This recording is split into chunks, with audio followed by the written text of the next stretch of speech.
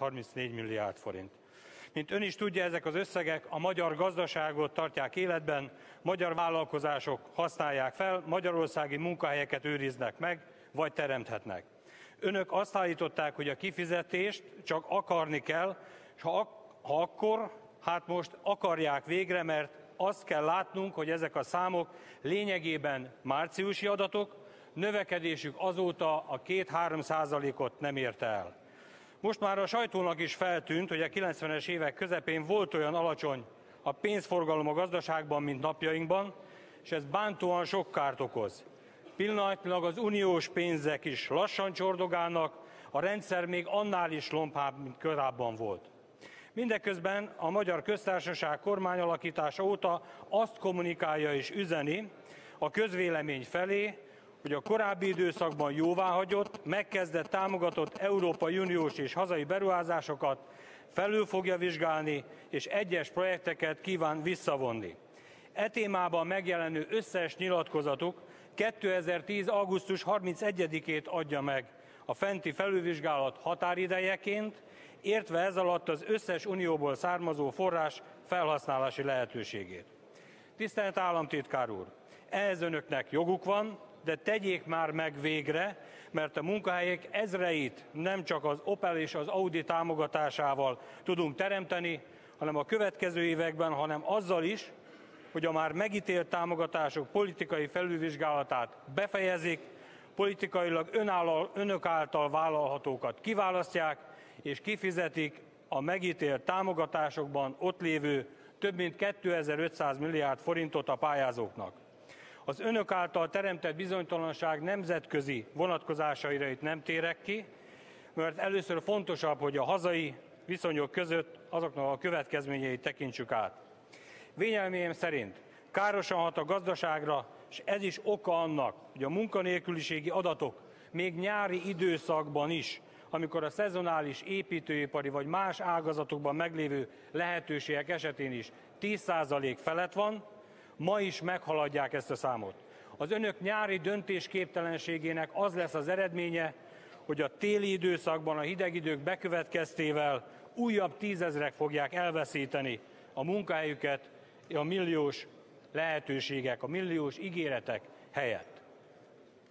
Köszönöm megtisztelő figyelmüket! Tájékoztatom a tisztelt házat, hogy a képviselő úr jelentős mértékben eltélt az írásban benyújtott interpelláció szövegétől, ezért megkérdezem államtitkár urat, hogy kíván-e válaszolni ennek ellenére a feltett kérdésre. Parancsoljon államtitkár úr. Köszönöm szépen, tisztelt elnök úr, tisztelt ház! Képviselő úr valóban eltért az interpellációtól, de a téma fontos, ezért engedjék meg, hogy érdembe válaszoljak. Már csak azért is, mert meglehetősen bizarr, hogy ön aggódik ezért. Ha ön egy vagy két vagy három évvel ezelőtt aggódott volna, itt a parlamentbe, a frakciójába, akár pártjának körébe, vagy akár összödön is, akkor megértem. És akkor, ha ez mindez akkor történik, akkor talán ma nem lehetne szükség arra a felülvizsgálatra, amit valóban kényszerülünk végrehajtani. Képviselő úr, az a bizalom, amit ön emlegetett, az elpárolgott. Elpárolgott, amit ön is láthat, ha másból nem, nézzen körül a terembe, vagy emlékezzen a tegnapi eredményekre. A felülvizsgálat az új magyarországi fejlesztési terv operatív programjaiban szereplő egyáltalában nem, vagy csak nagyon nehézkesen működő konstrukciók felülvizsgálatára vonatkozik, és olyan pályázati kiírások megszüntetését jelenti, amelyeknek a végrehajtása nehézkes, vagy egyáltalában nem lehetséges. Ugyanakkor a meglévő forrásokat sikeres konstrukciók javára ö, csoportosítjuk át. A másik területe a akciótervekben nevesített kiemelt projektek visszavonása, illetve tartalmi felülvizsgálata. Hangsúlyozom, hogy a kormány kizárólag olyan projekteket törölt vagy vont vissza, amelyekben semmilyen előrehaladás nem történt, illetve megvalósulásuk kérdéses. A támogatási szerződéssel már rendelkező projektek esetében a visszavonás minden esetben az Európai Bizottság szakértői által feltárt kockázat indokolja. Ezért fontos az ebben a stádiumban leállítani a projekteket, mert ezek a források így elérhetők még Magyarország számára, és ezek a számunkra, minnyájunk számára nagyon fontos milliárdok nem vesznek el. Engedjen meg, hogy néhány konkrétumot mondjak. A felülvizsgálat eredménye a gazdasági operatív programba és a regionális operatív programba 155 milliárd forint az azonnal mobilizálható forrás a kis és középvállalkozások számára. A Jeremy programba 70 milliárd struktúrálható át a viszontgarancia programokra és új típusú mikrohitel programokra. A kifizetés határidejét 60 napról 40 napra csökkentettük.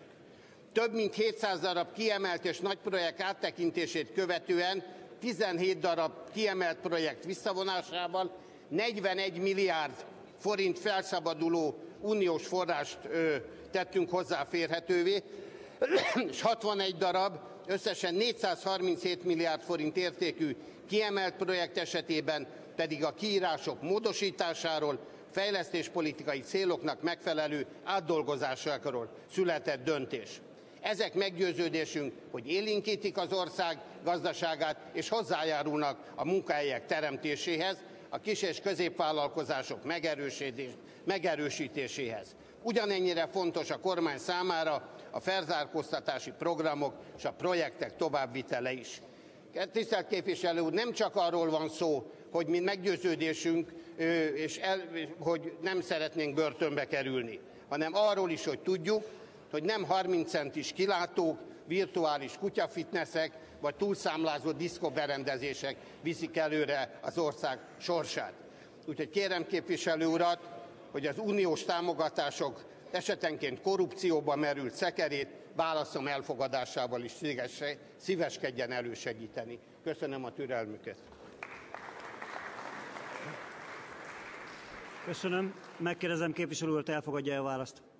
Köszönöm szépen, tisztelt államtitkár úr, az érdemi válaszra tett kísérletet én nagyra értékelem.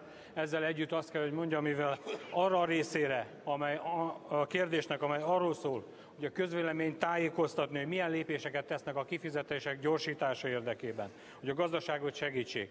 Arra a részre, hogy egyébként egy részletes listát kapjunk arról, hogy mely térségeket érint az önök által sok milliárd forint értékben tett visszavonás, és ezeknek a kompenzációjáról hogyan gondolkodnak a térségeket illetően, mit tesznek annak érdekében, hogy a továbbra is bent lévő és tervezés alatt álló 3000 milliárd forint értéket önök milyen módon kívánják megvitatni az érintettekkel, mindenre nincsen válasz, ezért én azt gondolom, erre vissza kell térni, és a válaszát önnek ezért nem tudom elfogadni. Köszönöm szépen megtisztelő figyelmét.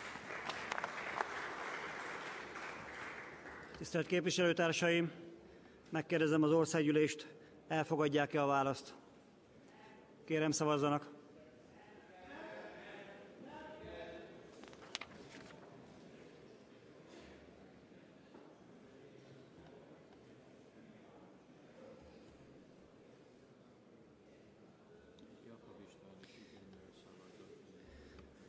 Tisztelt Ház, Jakab István úr jelezte, hogy csak kézzel tud szavazni, így 255 igen szavazattal, 59 nem és 3 tartózkodás ellenében a ház elfogadta államtitkár úr válaszát. Tisztelt Országgyűlés, Gyöngyösi Márton, Jobbik képviselője interpellációt nyújtott be a külügyminiszterhez, kell nekünk Tom Lantos intézet címmel. Gyöngyösi Márton képviselő urat illeti a szó. Köszönöm szépen. Államtitkár úr, az ENSZ szeptember 24-i közgyűlésén Schmidt Pál bejelentette, Magyarország úgy döntött, Tom Lantos nevével fémjelzett nemzetközi intézetet létesít, melynek célja az emberi és kisebbségi jogok, valamint a tolerancia értékrendjének előmozdítása. Először is tisztázzuk, a döntést nem Magyarország, hanem az Orbán kormány hozta, amelynek úgy tűnik elnök úr szóvivőjévé szegődött, ha már szakácsává nem válhatott köcsén. Most pedig néhány szót az amerikai képviselőház Lugosi Bélájáról, ahogy Tom Lantost a washingtoni újságíró Wayne Madsen elkeresztelte. Tom Lantos volt az, aki Ceausescu barátjaként egyetlen szóval sem állt ki az Erdélyben élő őshonos magyar kisebbség jogaiért, miközben kiharcolta, hogy a kongresszus megadja Románia véreskező diktátorának a legnagyobb kereskedelmi kedvezmény elvét. Később Lantos egyike volt azoknak, akik a hazug okokból indított iraki invázióhoz az amerikai közvélemény ráhangolása érdekében kitalálta azt a mesét, hogy egy Najira nevű 15 éves kuvaiti lány saját szemével látta, mint iraki katonák rángatnak ki újszülötteket inkubátorokból. Mint később amerikai lapok leleplezték, Najira nem volt más, mint Al Saba, Kuwait washingtoni nagykövetének a Hillen Knowlton amerikai propaganda cége által alaposan felkészített leánya. Ugyancsak Tom Lantos volt a szponzora egy olyan határozatnak, amely Bush elnöknek példátlan hatalmat adott, hogy tetszése szerinti időpontban támadjon meg egy országot. Bush meg is támadta Irakot, melynek következtében több mint egy millió ember halt meg, és több millióan veszítették el otthonukat, illetve hazájukat. 2004-ben Lantos a Nemzetközi Bíróság azon döntése kapcsán, amely elítélte a palesztin területen épülő izraeli falat, az igazságszolgáltatás perverziójáról beszélt. Amikor pedig az Amnesty International terjedelmes jelentésben tárta fel, mit tesz Cisjordániában a megszálló izraeli hadsereg, Lantos kongresszusi határozatot terjesztett be, amely szerint az izraeli katonai műveletek, idézem, kizárólagosan a palesztin terrorista infrastruktúra kiépítésének meghiúsítását célozzák. Lantos emellett előszeretettel náciz és antiszemitáz le kongresszusi képviselőket, sőt állam és kormányfőket is, ha azok nem állnak ki feltétel nélkül Izrael mellett. Ez tehát Tom Lantos a tolerancia és az emberi jogok bajnoka. Államtitkár úr, mint tudja, pont két évvel ezelőtt Gyurcsány Ferenc állt elő a Tom Lantos intézet ötletével. Nem gondolja, hogy politikai értelemben rendkívül pikáns az, ha egy forradalmi kormány az ancien rezsim, vagyis a Gyurcsány kormány ötleteit porolgatja le. A teljesség igénye nélkül felsorolt tények alapján ön valóban úgy gondolja, hogy egy csaló szélhámos, akinek a számos identitása közül a magyar soha egyetlen konkrét pozitív cselekedetben nem mutatkozott meg a legalkalmasabb egy budapesti intézet névadójának? Várom a megtisztelő válaszát.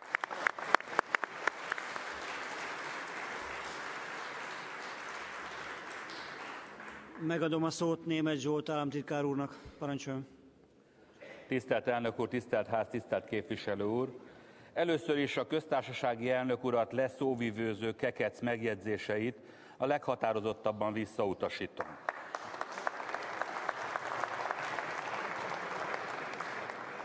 Ki képviselné legitimebb módon Magyarországot, mint éppen a köztársaság elnöke? Ami Tom Lantos személyét illeti ezzel kapcsolatban engedjen meg egy szubjektív véleményt, majd néhány tényt. Tudom, Tom Lantos politikai pályafutása során volt olyan időszak és téma, amikor a magyarországi belpolitikai helyzetet másképp ítélte meg, mint én, illetve a Fidesz. Magam is személyesen többször vitatkoztam vele, bár az életmű értékelése nem tisztem, mégis megkockáztatom. Élete során Tom Lantos és a demokratikus magyar jobboldala, jobboldal értékítélete Magyarországról, a magyarságról inkább egyezett, mint különbözött. Vagyis a kép sokkal árnyaltabb és összetettebb, mint ahogy ön ezt megpróbálja beállítani. De térjünk rá a tényekre. Önök kifogásolják, hogy Magyarországon feláll egy intézet, amit Tom Lantosról fogunk elnevezni. De ki is valójában Tom Lantos? Lantos Tamás Magyarországon született, amerikai demokrata párti politikus volt, 81-től 2008-ig, azaz haláláig az amerikai képviselőház tagja, annak egyedüli holokauszt túlélője. Az ön méltatlan állításával ellentétben élete során mindvégig magyarnak tartotta magát, politikusi pályafutása során kiemelt figyelmet fordított a magyar ügyekre. Hadd indokoljam ezt egy szimbolikus példával. Lantos kezdeményezésére 90. március 15-én a Kapitóliumban sor került Kossuth Lajos melszobrának avatására, amelyen az ünnepi beszédet nem más, mint Tőkés László mondta. De folytassuk az indoklást. Az erdélyi magyarság ügyében Lantos a 80-as évek elejétől kezdve kamatoztatta politikai befolyását. Különböző ügyekben számos alkalommal levélben fordult a román vezetéshez, 84-ben például az ön szavaival Ceausescu barátjától követelte a magyar kulturális intézmények felszámolásának megakadályozását. Az amerikai legfelsőbb vezetés figyelmét sem mulasztotta el felhívni a romániai eseményekre, tette ezt például 84-ben régen elnöknek írt levelében. Képviselőtársait pedig arra beszélte rá, hogy az amerikai alsóház ne szavazza meg Románia számára a legnagyobb kedvezmény elvét, amíg az emberi és kisebbségi jogi helyzet nem változik pozitívan. Ismétlem, ne szavazzák meg a kedvezményt, vagyis pont az ellenkezője az igaz annak, amit ön súlykol. 9